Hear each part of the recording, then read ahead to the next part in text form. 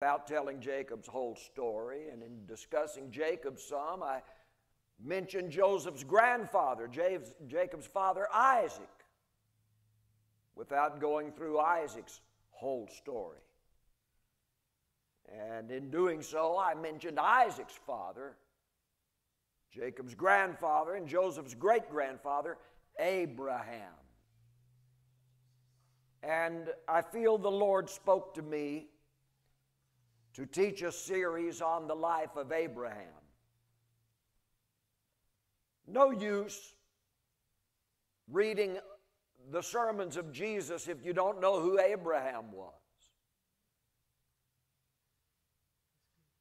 Jesus refers to Abraham several times.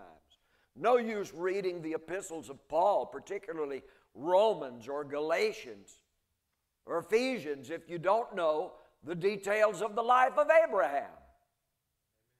Paul refers so often to things about Abraham. It's very use, very little use to uh, read about the life of Moses, and I'd love to do a series on the life of Moses someday before the year is out. But no use discussing that if we do not know where all of this began, and it begins with Abraham. And so, please, with the help of your prayers and your kind permission, I would like to do a series on the life of Abraham. He's a towering figure. I'd like for you to open with me to Luke chapter 7, pardon me, chapter 16. Luke 16. This is just a few days before Jesus is crucified.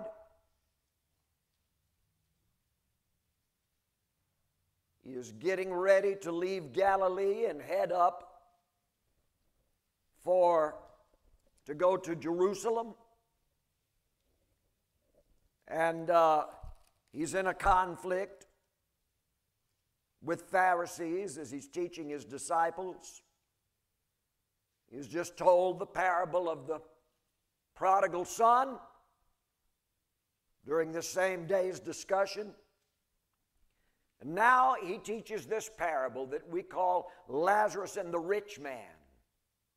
You say, What's this got to do with Abraham? Oh, if you've read it, you'll already know.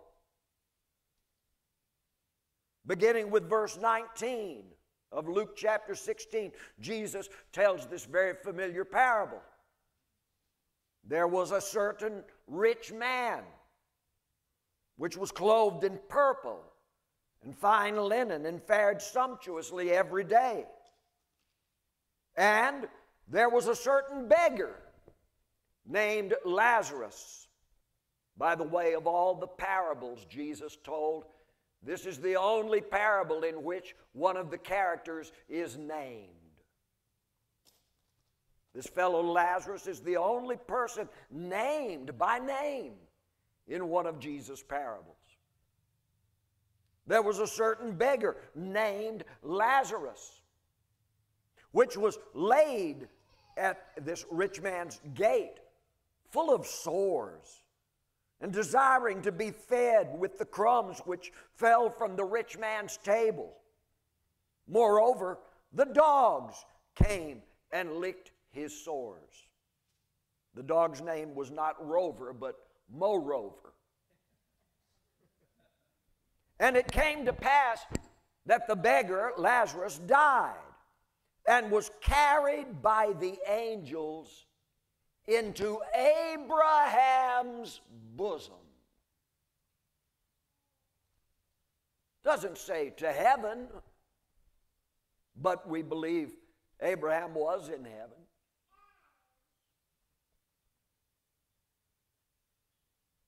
Jesus, in talking about God being a God of the living and not of the dead, challenges the Pharisees one time and says, You call him the God of Abraham, the God of Isaac, and the God of Jacob. And yet you say Abraham, Isaac, and Jacob are dead. But he is not the God of the dead, but of the living. Therefore, if he is the God of Abraham, then Abraham is alive somewhere. Jesus pointed this out a few times. All of those who are righteous will one day in the kingdom of heaven sit down with Abraham, Isaac, and Jacob at the wedding feast.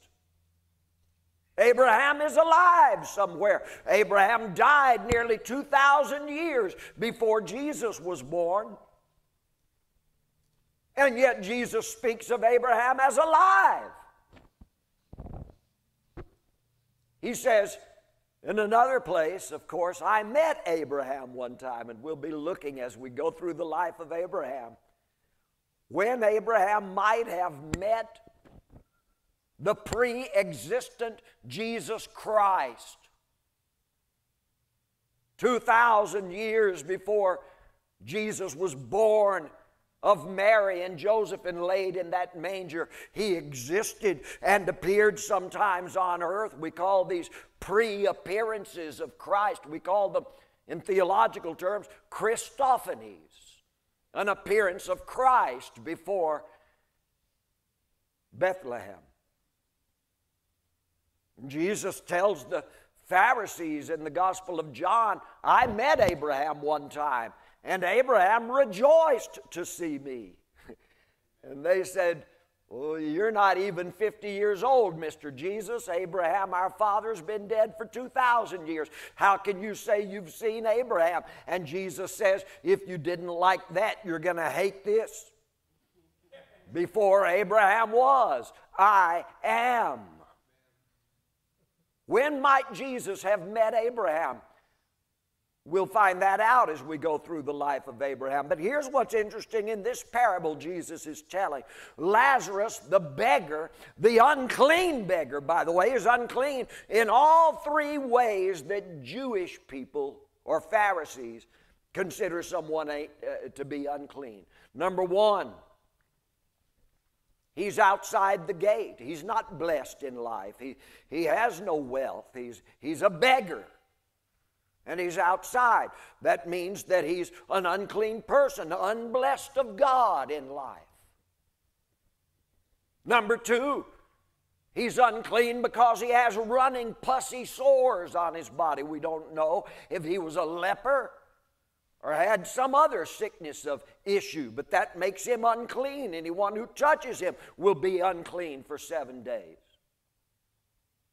And number three, he's with the most unclean of all animals dogs. And those dogs are actually licking his sores.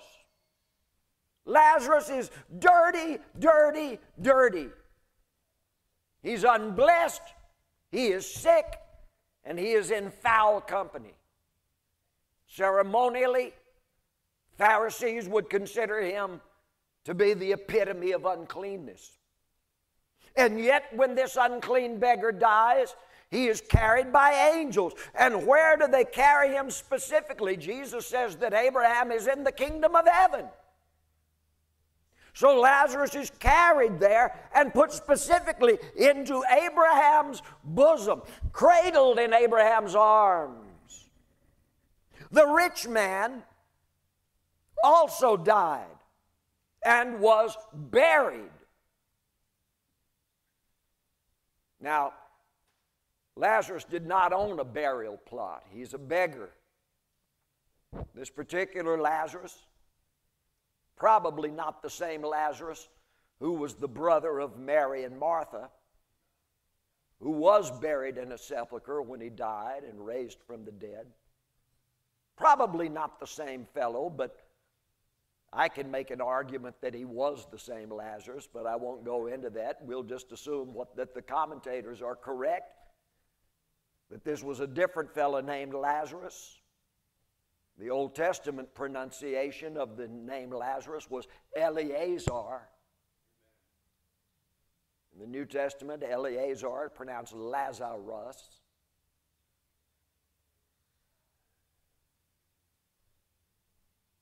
This Lazarus is a beggar. And therefore, his body is cast into the burning ravine. outside of Jerusalem known as Gehenna, the valley of the sons of Hinnom, where they threw the bodies of the dead who had no burying place.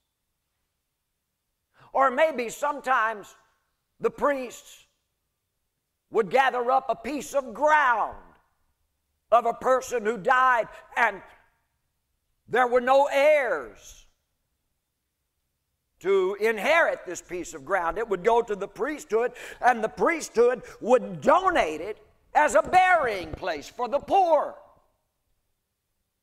We see that when Judas died, hanged himself, he had cast 30 pieces of silver that they had paid him for betraying Jesus. He cast it back into the, into the, the priestly palace.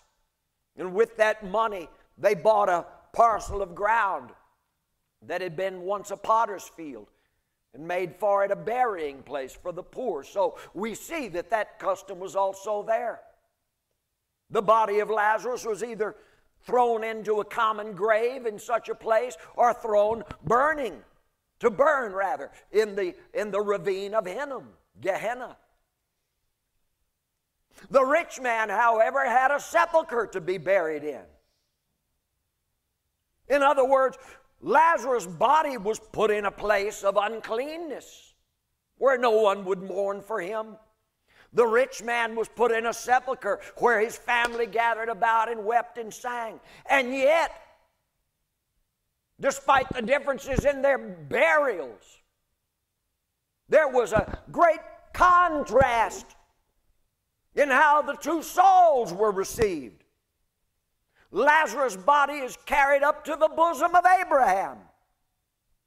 The rich man is buried, we assume, in a fine sepulchre. But what's going on behind the scenes?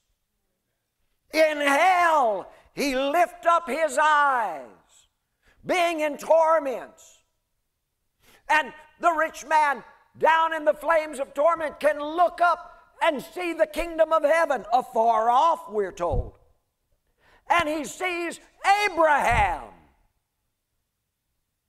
seated and holding Lazarus in his bosom. He lift up his eyes, being in torments, and seeth Abraham afar off, and Lazarus in his bosom. And this rich man cries from these flames and says, Father, Abraham. So now we know the rich man was a Jew. He considered Abraham his father, even in the afterlife. Father Abraham, have mercy on me and send Lazarus that he may dip the tip of his finger in water and come and cool my tongue, for I am tormented in the flame. But Abraham calls toward that rich man that he sees in flames and says, Son, This rich man in hell is a son of Abraham. You see, that's quite a thing for Jesus to be teaching a group of Pharisees. For Pharisaic Jews believed that they would all go to heaven simply because they were sons of Abraham. Sadducees believed that also. John the Baptist, in beginning his ministry of preaching there, baptizing people in the River Jordan. Preached often to them, saying, Say not, or think not to say within yourselves, We are children of Abraham. For if what God wanted was physical or biological children of Abraham, he would be able to take these river pebbles. I can see John the Baptist holding up handfuls of wet gravel from the bottom of the Jordan. He would be able to take of these river pebbles and transform them into children of Abraham. But God is not just looking for biological sons of Abraham, He is looking for those who do the works of Abraham.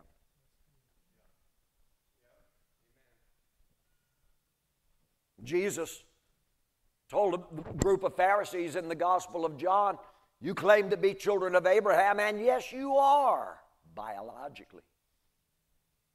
You can trace your genealogies all the way back to Abraham. But Jesus said, if you were really the children of Abraham, you would do the works of Abraham. When I look at your genealogies, I see that you are children of Abraham. When I see your works, I see that you're not the children of Abraham. You're of the, your father, the devil. So, whoever Abraham is, he was not only the father of the Israelite nation, particularly the tribe of Judah, which became known as the Jews. When we first meet Abraham, and we will today, he's 75 years old, and God tells him, You'll be the father of many nations. And in you will all the families of the earth be blessed. Now, Abraham does not beget many children Ishmael, then Isaac, and then four or five other sons by his third and last wife, Keturah. That's not enough. Abraham's sons are not enough to become the, the fathers of many nations. Abraham's sons, we see we see all of them collected in Genesis chapter 25. But way back in Genesis 10, before Abraham had ever been born, we see how the sons of Noah had spread out and covered all the earth and had formed many kingdoms and kings. God is referring to those kingdoms that are already in existence, those ethnicities and cultures and races when he tells Abraham, All nations of the earth will be blessed in you. Nations that already exist that will not be born of Abraham. Are you following what I'm saying? Abraham first appears in Genesis chapter 12. The previous chapter, Genesis 11, tells how all of the nations of the earth were gathered at Babel. They were of all, one people and one tongue, and, and how they are scattered from Babel in confusion uh, of tongues to go out and, and populate different lands. These people are already there before Abraham's ever born. And yet God tells Abraham, in a way, you will become the father of them all. What does God mean? There will be something special about Abraham, not his, not his genetic makeup or his physicality. What will be special about Abraham that will reach out and touch in some way all of the people of the earth? Will be a spiritual quality that will emanate from his life. And here we see Abraham now, long dead from the earth, but still alive in heaven, holding the man in his bosom, the soul of the man who was unclean in life, but is now forever cleansed, and looking down into the flames of hell. at someone who in life was one of his direct biological descendants. And Abraham calls the soul of this rich man, My son. A rich man who was clean in life and blessed in life, but somehow missed out on doing the works of Abraham that would have got him back into Abraham's bosom. Verse 25 Abraham says to him, Son, remember that thou in thy lifetime receivest thy good things, and likewise Lazarus evil things in life. But now he is comforted, and thou art tormented. Boy, things had turned around in the eternities, hadn't they? Jesus said, Many that are last will be first. Many who are first will be last. Abraham continues speaking to his son, the rich man, who is now eternally cursed. And beside all this, Abraham says to him, Between us and you, there is a great gulf fixed, so that they which would pass from hence to you cannot. Neither can they pass to us that would come from thence. Then the rich man says, I pray thee, therefore, Father, that thou wouldest send him, Lazarus, to my father's house. Can Lazarus be raised from the dead, please, and go back to earth? For I have still alive on earth five brothers, brethren, that Lazarus may testify unto them, lest they also come into this place of torment. And Abraham says to the soul of the rich man, They have Moses and the prophets, let them hear them. Ladies and gentlemen, it is important to know your Bible.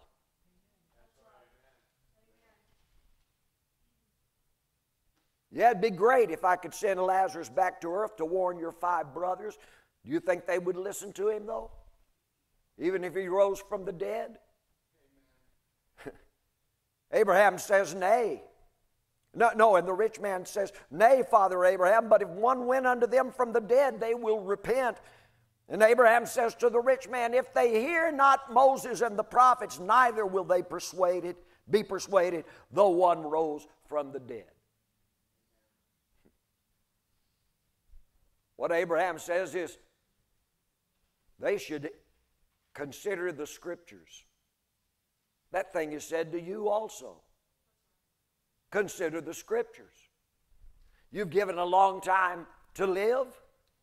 You've watched a thousand movies on television, untold sports events. How much time have you given to considering the Word of God?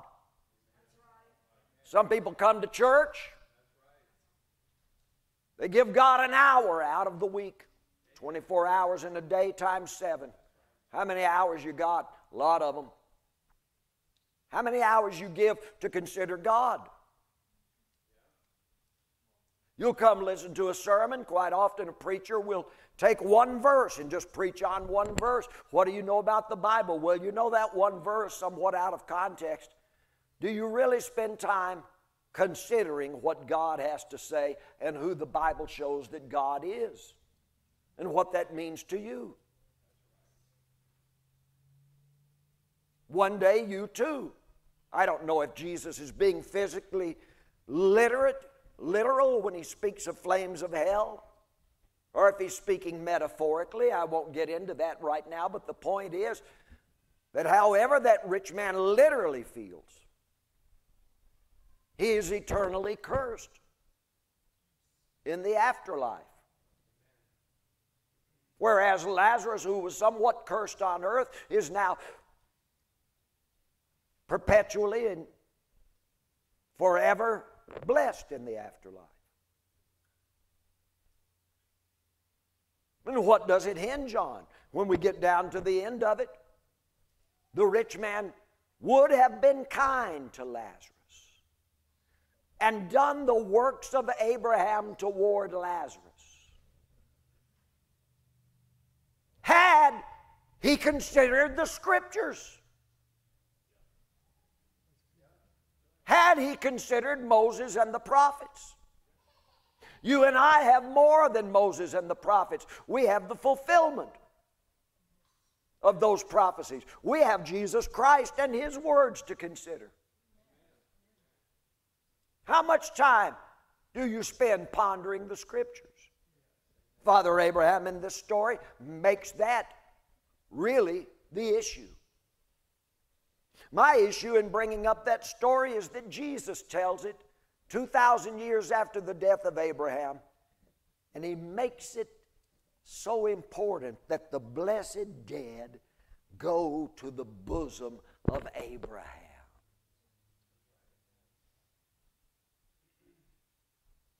Why Abraham? How is he this figure of gigantic influence? The dead don't go to the bosom of Moses or David or Solomon. The dead don't go to the bosom of Elijah or Noah or even Adam. they go to the bosom of Abraham. Why? What? Who was Abraham that makes him that important? Father of nations is one answer. Thank you, Julie. Father of faith. Thank you, brother. There are certainly some terrific aspects about Abraham that we're going to learn. I'm just giving introductory this morning. Is this interesting to you? I remember the old spiritual song that you used to hear sung rock of my soul in the bosom of abraham rock of my soul in the bosom of abraham rock of my soul in the bosom of abraham. Oh rock of my soul. What in the world does that mean? This gigantic figure abraham was a descendant of noah's. Noah's life is told in three chapters Genesis 6, 7, 8, well, 9 also. About three and a half chapters. You know all about Noah, don't you? He's the guy that was warned of God that a flood was coming on the earth, moved with fear, and prepared an ark to the saving of his house.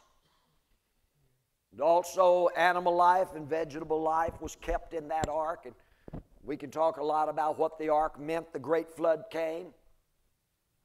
Killed everybody. People speak, well, that's a, that shows that God is a killer. God is a. No, those people were dying horribly anyway. The earth was filled with violence before the flood. Ancient battle scenes are gory and horrific. One city defeats another city, slits the throat of all the men, captures all the women and children make slaves of them. Terrible things happening. Suicide rate very high among women and children. Bodies wounded on battlefields are left there for the vultures to come and pick out the eyes and the, and the guts of the wounded. Sometimes fire is set on a battlefield and wounded men lie there screaming as the flames creep around them. Horrible deaths. You can go back and read the histories of the Civil War battles fought right here in this valley and over near Fredericksburg just 160 some odd years ago. Men by the tens of thousands, wounded and cannot move, and flames all around them as those battlefields are caught on fire by cannon shot and musket shot. People on the lines hear the wounded screaming out there in the fields between them. So have battles always been horrific. Horrific. And the Bible says that before the flood, the earth was filled with such violence. Drowning, however, by contrast, is a very easy death. We don't like the idea of it, but actually, once you breathe in a lung full of water, you go unconscious and drift away quickly. In that sense, God sending a flood to drown all these people was they're going to die anyway, and most of them will die horribly. God comes up with the easiest death for all of them that He could think of. In a sense, the flood was a mercy. And then He says, some of you aren't going to like that, I know, but God is thinking better for me to kill them quickly and as painlessly as possible than to let them stay alive and murder one another in these horrific ways. And so the flood comes and washes all humanity away. Just before the flood, God tells Noah why. He says, Because all these people, mankind, They'll just never do right. Why? Because the imaginations of their hearts are only evil continually. So that's the reason God dispensed with all of them in the flood. I'm just giving you a theological point. You can argue if you want to whether the flood actually occurred, or is it a metaphor, or is Noah a symbol, or whatever. I don't really care how you think of that. You can think of it as a fairy tale. That's fine with me. I'm not going to spend time trying to prove the historicity of it to you. Consider it as a fairy tale. Aesop told fairy tales fables. And yet you take those knowing that they're fictional, but you derive the lessons of your life from them. Little Red Riding Hood is a fairy tale, and yet you tell it to your children. Why? Because it teaches a lesson in life. Little girls shouldn't talk to strangers while they go through the woods on the way to grandma's house. You take all sorts of fictional things in life the Greek myths, the Roman myths, the Nordic myths, and you derive meaning from them. I don't care if you take the Bible as a myth as long as you see what it says. And maybe if you see enough of what it says, you'll start embracing it as a reality. But it's really the message that matters more than your perspective of the validity of it. Am I making sense or am I rambling?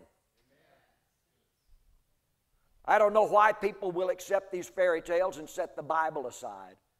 It's something I, I don't want to read that. Well, I'll tell you, it's got it, has got much more meaning for your life than uh, Snow White and the Seven Dwarves will ever have.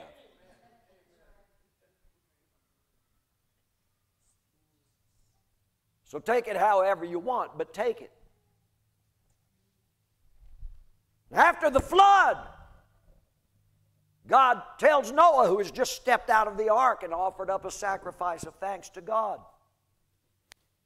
God smells the sweet savor of the sacrifice and comes down to talk to Noah. And he says, You know, Noah, I will never do this again. I will never destroy all mankind off the face of the earth. Somebody said, Yeah, he said he wouldn't do it by water. He said he would never do it by any means, not just by water. I won't indiscriminately kill everyone again. And Noah says, Yes, I know why, God. You won't have to because you got rid of all the bad people and left me and my three sons and my wife and my three sons' wives. And we're the good people. You got rid of all the bad and left the good. And God said, No, Noah, that ain't why I'm not going to do it again. Because you're not as good as you think you are. God says, I look at, I look at these eight people still alive, including you. It's Noah, Mrs. Noah, their son Shem and Mrs. Shem, their son Japheth and Mrs. Japheth, and their son Ham and Mrs. Ham. I look at the eight of you, and you know what I see? God said, I who look not on the outward appearance, but on the inward heart, I see that the imaginations of your hearts are still only evil continually from your youth. Noah says, Not me. God said, Live on and learn. Noah lives He's 600 years old when he comes out of the ark. He lives another 350 years. And Noah lives to see his descendants become, before he dies, he lives up to 10 generations afterward. He lives to see his descendants become just as bad as the people who died in the flood. Genesis chapter 11 Verse 10. We'll just take one of Noah's sons, Shem. Genesis chapter 11, verse 10. Is this interesting? Now, I'm just going to be teaching on Abraham for the next few weeks. So I hope you don't get bored with it. But here's where Abraham comes from. These are the generations of Shem. Shem is one of Noah's sons. Shem was a 100 years old and begat Arphaxad two years after the flood. All right, when Arphaxad was born, then Noah is 602 years old. Go down to verse 12. And Arphaxad lived five and thirty years and begat Selah. Noah is now 637 years old. Go down to verse 14. And Selah lives 30 years and begets Eber. Noah is now a mere 667 years old. He's going to live to be 950. Go down to verse 16. And Eber lives four and thirty years and begets Peleg. Moses, uh, Noah is now 701 years old. Go to verse 18. And Peleg lives 30 years and begets Reu. Noah is 731. Verse 20, Reu lives two and thirty years and begets Serug. Noah is now 763. Verse 22, Serug lives 30 years and begets Nahor. Noah is now 793 years old. Verse 24, Nahor lives 9 and 20 years and begets Terah. Noah is 822 years old when Terah is born. Who is Terah? Terah will be the father of Abraham. Verse 26 And Terah lives 70 years and begets Abram, Nahor, and Haran. Noah is now 892 years old. When Terah has his first son, his first son is not Abram, but rather Haran is the oldest son, we, leave, we read later on. And Noah, Abraham is actually born when his father Terah is 130.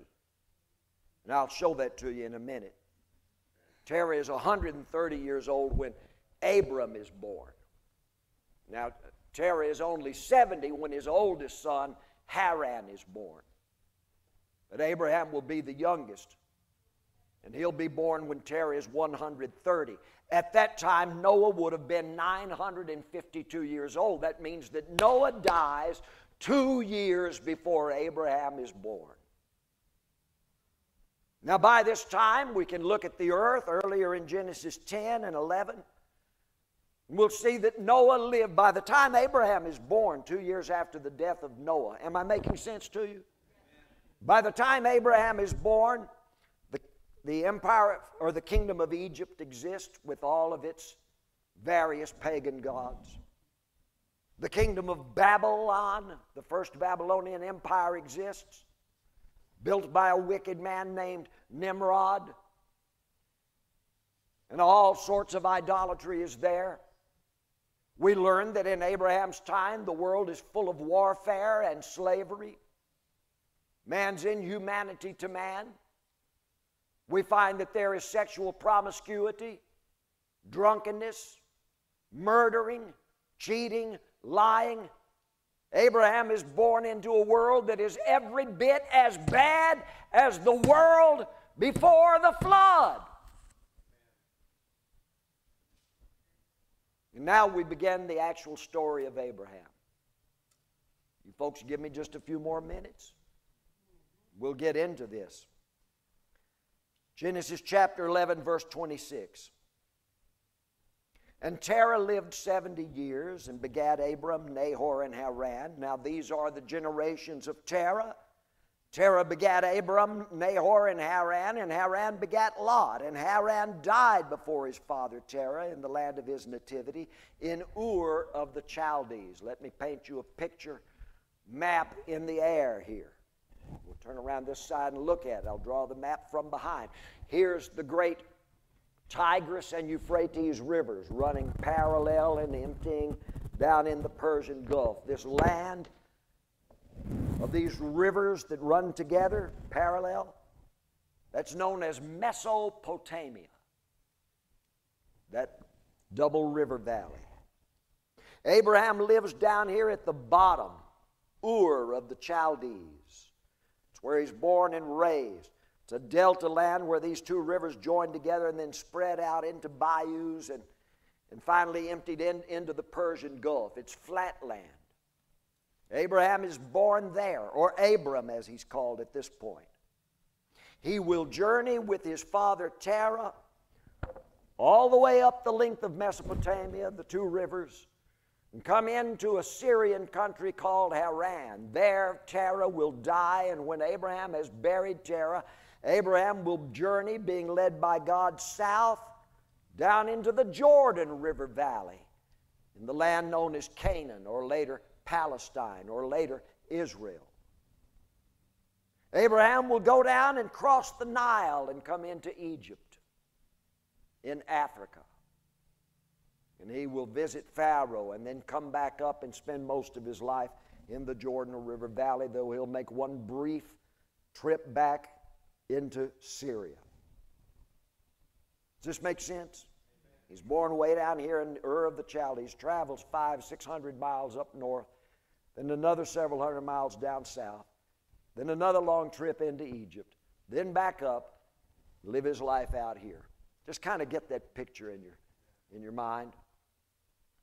And uh, Abram and Nahor took them wives. The name of Abram's wife was Sarai.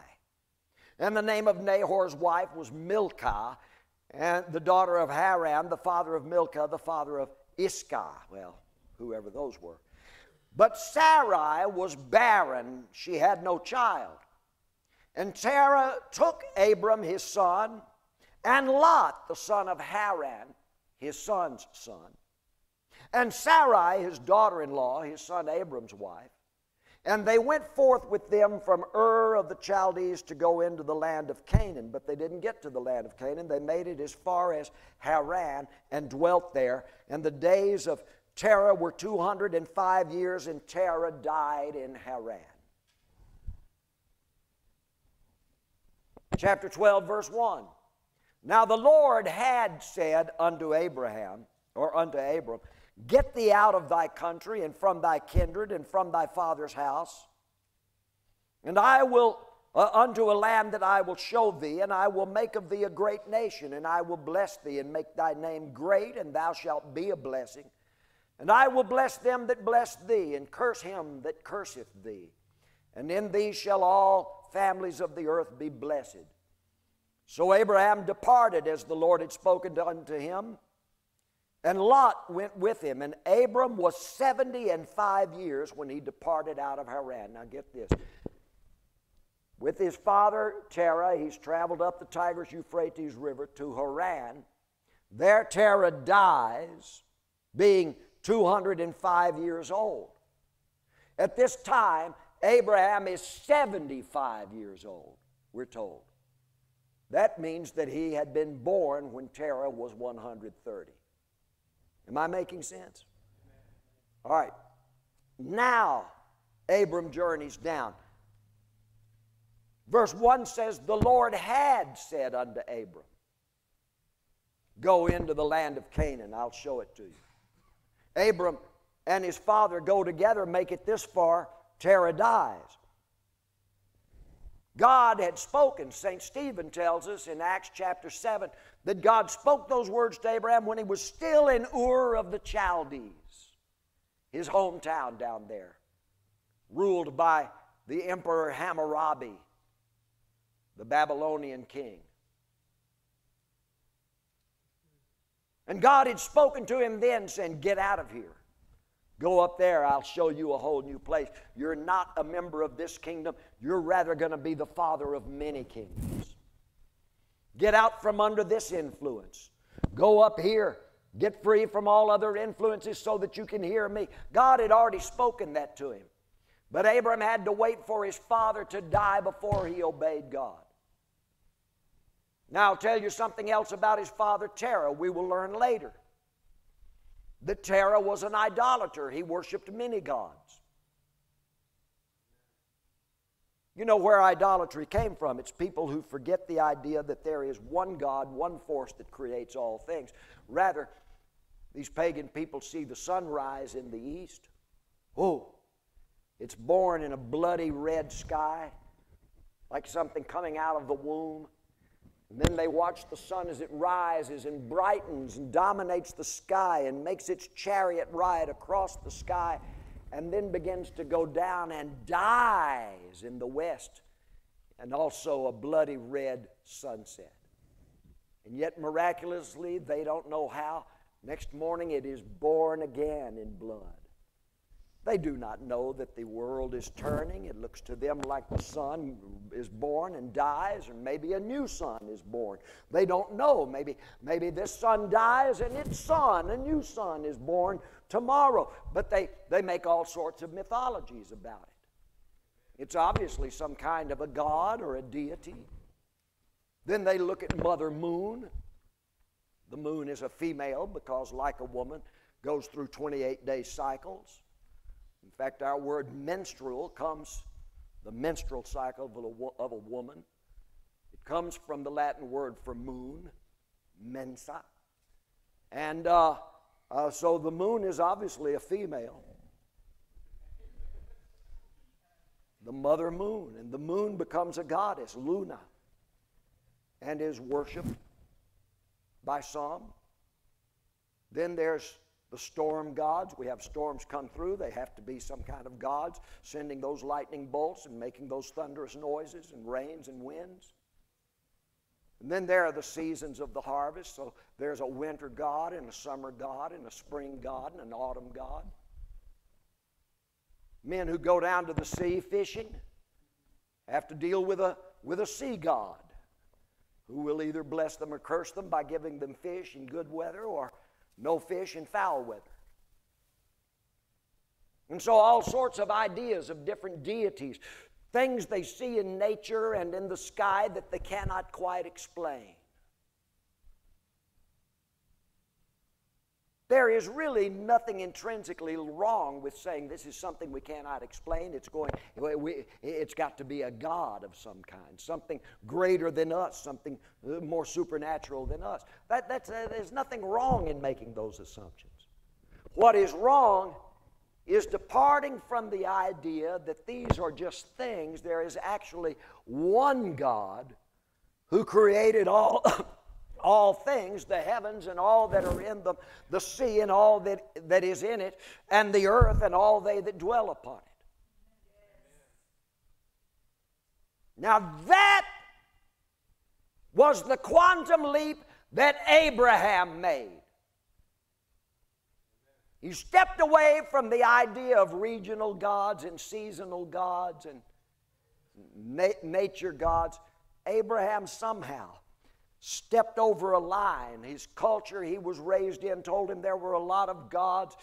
All that had informed him, all that had influenced him, had told him there were many gods. His father Terah worshiped many gods. Abram one day stepped over a line and said, I step away from all of that and I come into an understanding of one God. And it was at that point that he calls upon this one God, and that God responds to him and says, Abram, of all the people on the earth, no one knew me as one God, and he died only two years before you were born. But he lived to see all of his descendants turn away from his knowledge of the one God. And now you alone have stepped into this realization that I am the only God. And Abram says, I will obey you. Travel to the land you will afterward show me for an inheritance. But my father won't let me. And God says, Wait for him to die. And when Terah, they journey up to Haran. When Terah dies at the age of 130, God says, Now you are free. See, God had, God had appeared to Abraham while he was still living in this pagan land, Ur of the Chaldees. And Abram just had to hold that within himself and wait until his great influence, Terah, his father, had died. And now he says, I'm free to obey you. And God says, All right, now, journey south into the land of Canaan. Well, that's the only part of his story I can really tell you today. But the first thing we find about Abram is that he made a quantum leap that challenged all of his previously learned ideas. He's willing to put behind him everything his people had taught him and step out into his own particular knowledge of God. Hey, have you ever made a quantum leap? I find few people do that. Some people just say, well, this, I'm, I'm an American, I was raised in America, uh, and I'll die in America and be buried in America with Americans. And I think the way our people think, and I am what our people have made me to be, and this is, this is who I am, and this is what I'll always be. Have you ever made a quantum leap? What about religion? Well, I was raised a Baptist, I was raised a Catholic, I was raised a Lutheran, whatever. And this is what I was raised to be, it's what I'll always be. Have you ever said, I'm going to step out and find out for myself as an individual? It's called a quantum leap. Paul did it. Abram did it. Hey, Moses really did it. Have you ever done it? We're going to look at several things about Abram, or Abraham as he comes to be known later.